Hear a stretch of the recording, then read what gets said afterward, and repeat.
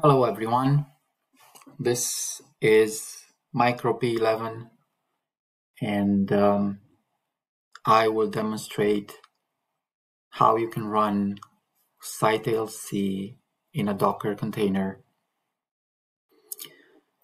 And uh, you will have access to an API where you can download the actual EGC messages or you can view them in the browser in your own network. Uh, this is proof of concept.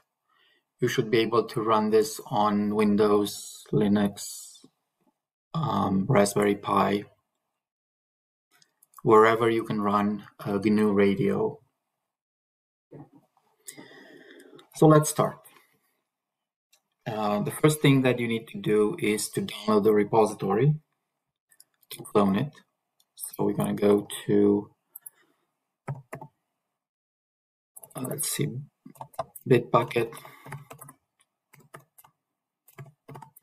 site ScytaleC, and we're going to go to this repository here, and we're going to copy the link to clone it. And then what I'm going to do next is, so click on this button, copy that link.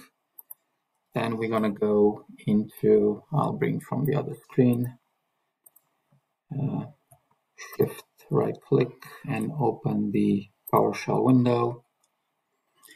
And we're to say, we're to paste that thing, that link to clone the repository already exists and it's not an empty, great. It's because I did not rename the existing one. You will not run into this. Let's make this three. So again, okay.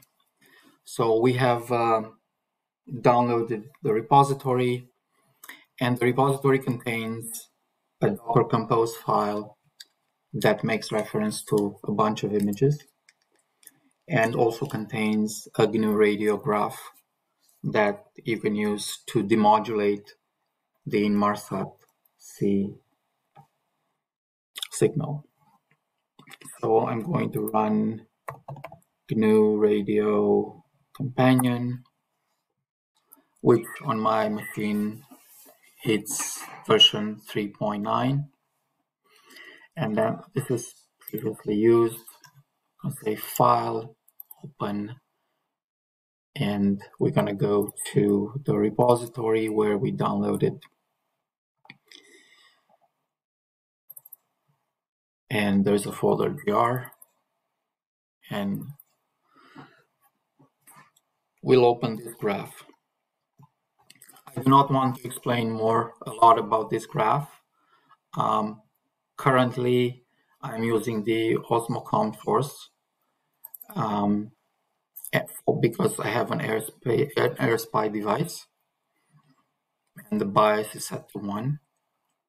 If you want to use an RTL SDR, you will disable this and enable the RTL SDR source and you may have to play a bit with the parameters. Currently, the um, sample rate is 2.5 mega. You may want to make it smaller. And for a Raspberry Pi, I found that the best works for 1.8 um, or even 1.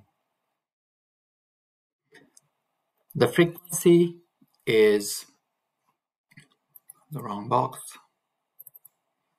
This is the frequency of the um, NCS network coordinating station on Inmarsat at 54 degrees west. And it is not quite on frequency. Um, it is just a bit off because I have created a block in this graph that does auto tracking. So once you have it running it will lock onto that frequency and you can just run it, leave it, let it run forever and it will stay on the frequency. So we have downloaded it and we're going to run it. The, the result this is, so you see that the blue signal is where the current frequency is right now and we just want to move it into this red area. So I'm going to go and adjust this from 10300 to let's say 9000 and then maybe that was too much. But you see that it starts to let me see 9200 and okay so now right now it's demodulating and what happens is we are sending the demodulated symbols over UDP. In this case, it's 127.0.0.1, which is the local host, and the port is 30,001, 30, and this is the port. Um, you can have multiple, you can send this to multiple places. Um, by adding another UDP sink. And here we have the, the correction 8788.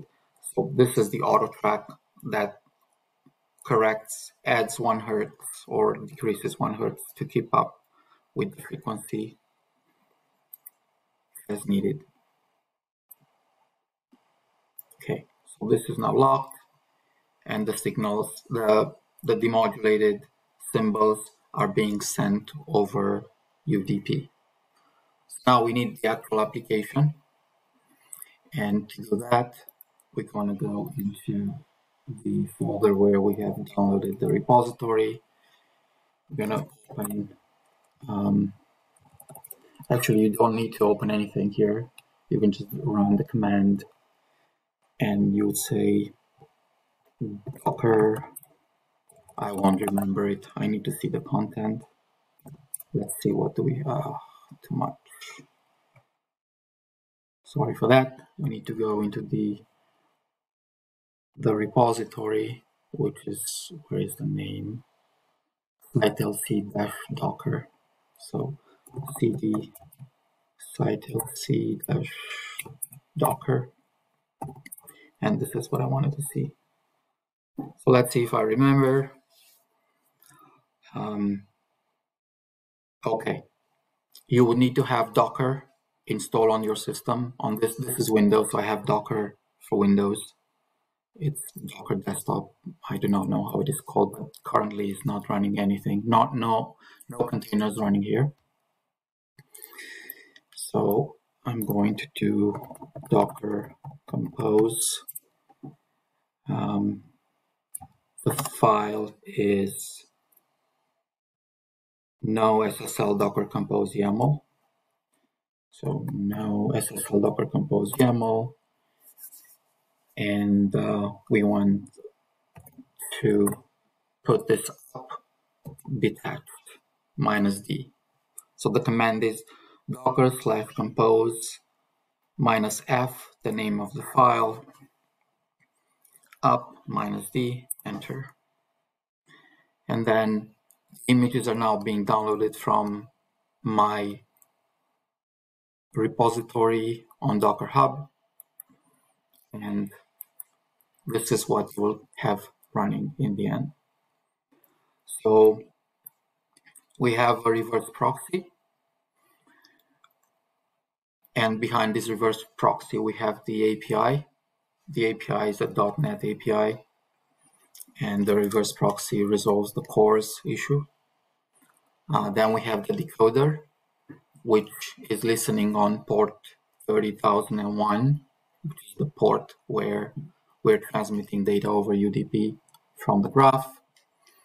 This decoder extracts the frames and passes the frames to the API. API the API is extracting the actual messages. So if you click on this, you will see that since we're talking we have decoded frames. Now these frames are the data here is a bit maybe inducing you um,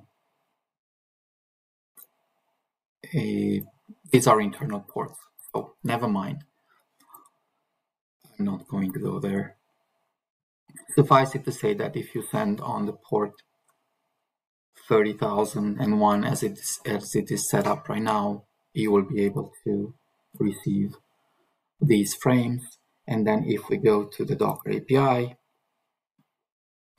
you see that the actual frames are being sent. We'll just wait. And then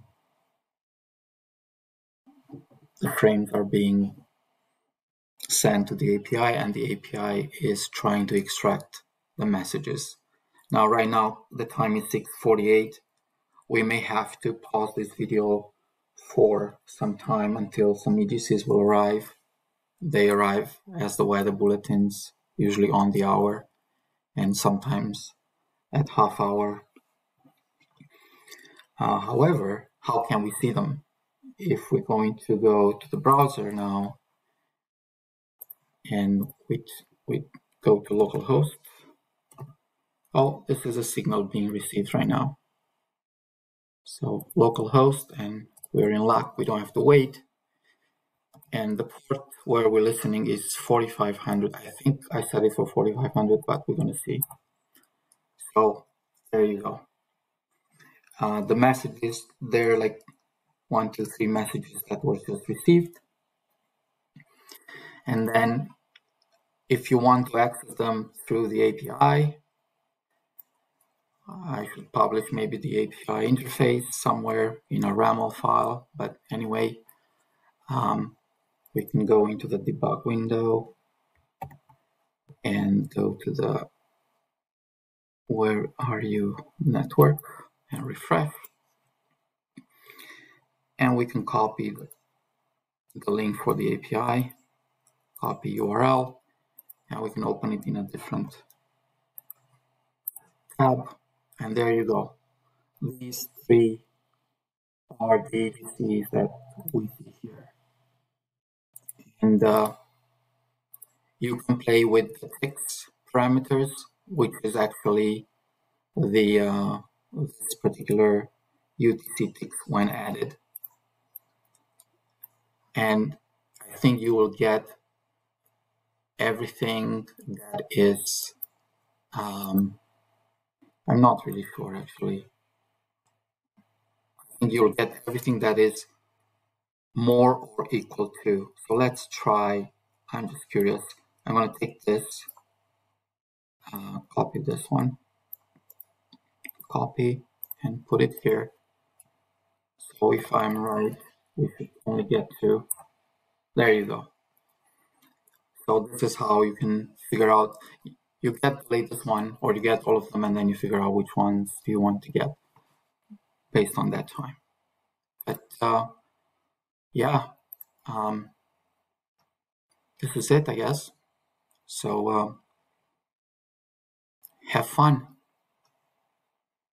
Thank you for watching.